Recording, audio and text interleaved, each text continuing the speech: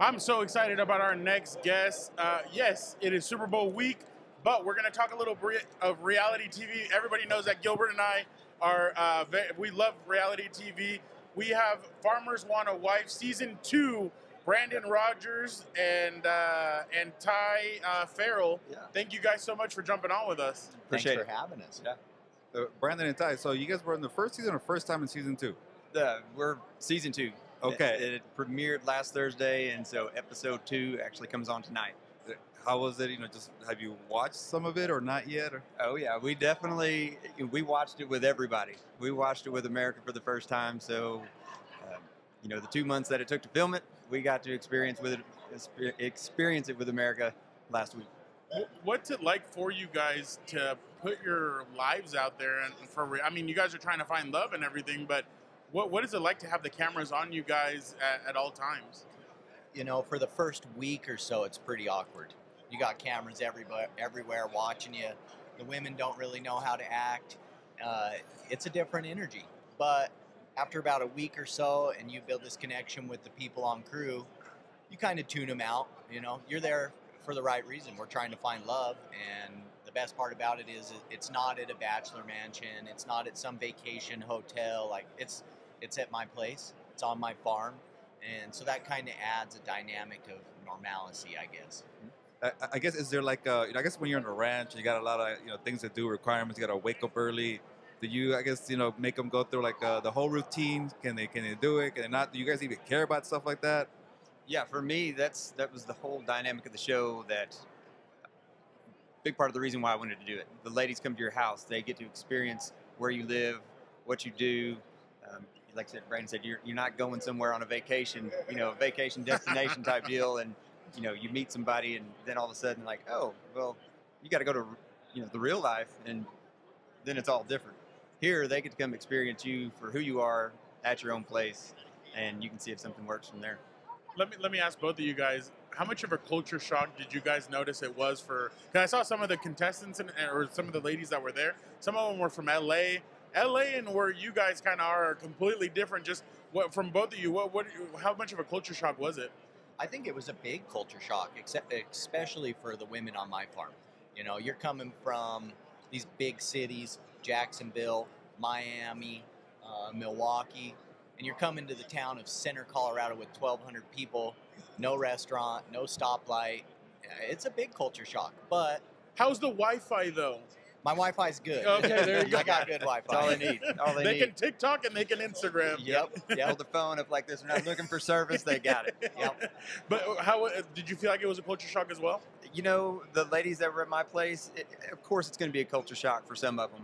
Um, they did enjoy it, and what was for me, where I took it with, took out out of it is that, you know, after the first week or two, they were there, and it's like, okay, now is this still a vacation for you, or are you really digging digging your place here?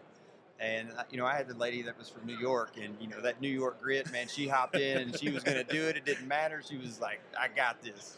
Um, so that was pretty fun to watch. Did one of you guys ever find yourself shaking your head often? Like, can you put the phone down? Can you stop doing a dance? I'm trying to post on Instagram, or can you not like milk the cow and take a selfie at the same time? Like stuff like that. It more like like it was like, hey, would you get your makeup on? Let's go do some work. It was quite the process getting them out the door.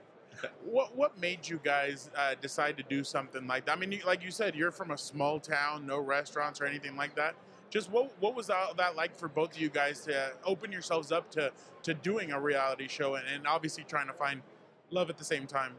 You know, for me, it was the fact that from a small town, the dating pool is very small. There's not a lot of people there, uh, not a lot of women moving there. You know, most of, I graduated with 23 people, and I would say half of my class left. If you're not part of the ag industry, you know, there's no point in being there. So this opportunity opened the door to meeting women that are interested in that Western lifestyle and bringing them out to see if they can handle it. They might think it's one thing, but when you get out there, it's a little different. Ty, Ty? yeah, for me, I'm 42 years old. I've been married. I've got a child, and so the, the dating pool for me is it's very limited. Um, so it was for the hope, the hope of finding somebody that you know would come experience life, and you know why not take a shot?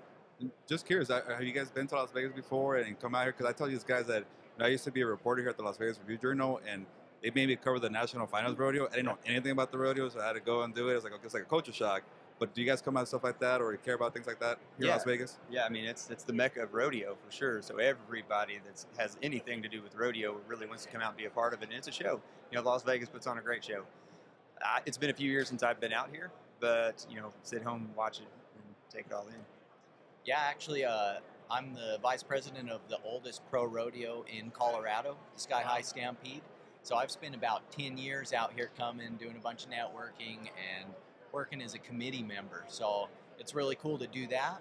But this is such a different energy because it's Super Bowl week. Everybody's about the sports, and so it's kind of nice. You know, you get all the Cowboys during NFR and the country people, but this is the sport fan base, the mecca of sports, really. So Yeah. it's a cool dynamic and a cool change for me. Did, did you participate in one of the events? Nope, I, I don't actually rodeo. I'm on the business side of the Okay. program. I always tell them. So I, I, obviously, I don't want anything spoiled or anything, but like, is there anything that truly shocked you guys about uh, doing something like this? Anything stand out to you? You know, I, I think for all of us, it was just the the magnitude of what it was when it started. You know, the cameras in your face. Uh, you don't experience that on a daily basis. Nobody does. But then you you get used to it, and now now it's really not a big deal. You know, you see a camera and you might shy away from it beforehand, but after the fact, it's we're like, all right, okay, smile. You know, for me, it was just the the fact of the business aspect of it. You know, these people that are creating the show and creating the content are just as passionate about what they do as I am about farming. So it was really cool to see people come in and be amazing at what they do while I'm able to do my thing on the farm as well. Yeah, they really like those guys like behind the camera. They were making art. It wasn't that they were just pointing a camera like, okay, we're gonna get this shot. They were they were they were passionate about it and they were making art and they enjoyed it. Oh, it's pretty cool. You, you kind of learn to appreciate the, the Mhm. side behind the scenes and all that. But maybe, maybe I don't know if it was a random question, but maybe also fitting. Did you guys ever try like a dating app before doing this, the I guess the reality TV show?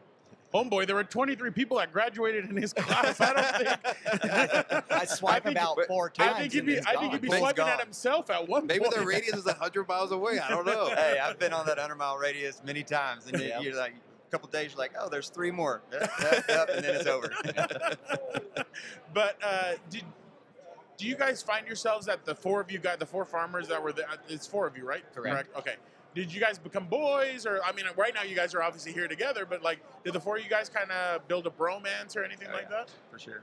Absolutely. You know, uh, there's only four or three other guys that really understand what we've gone through, and so it, we call it a trauma bond because nobody else understands what it's like. You know, your life totally gets upheaved to make this production and be part of the reality experience. So, absolutely, we came, we became boys, and we're all going to go out and check each other's farms out and do a couple trips, do some fishing, do some hunting, and the typical country boy stuff. You know. That should be the reunion show. Yeah, right. Farmers Want a Wife reunion show. The boys hang out or something like that.